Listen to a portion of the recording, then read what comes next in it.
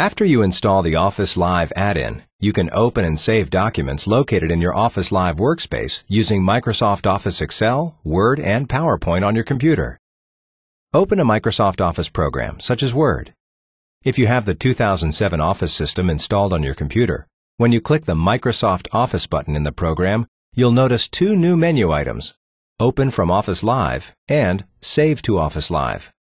If you have Office XP or Office 2003, you'll see new buttons on the taskbar. Go to Office Live, Open, and Save. I'll show you how to use these Office Live features using a file in Office Word 2007.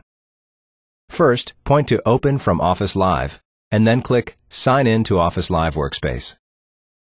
If prompted, type the email address and password that you used to sign into your Office Live Workspace account, and then click OK.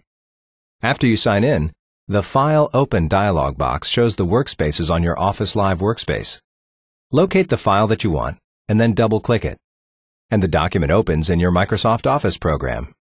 After you make changes to the document, click Save, and the revised document is saved to your workspace. If you want to save a copy of the workspace document to your local computer, click the Microsoft Office button, click Save As, navigate to the location on your computer where you want to save the file, and then click Save. You can also save a document that is located on your computer directly to your online workspace.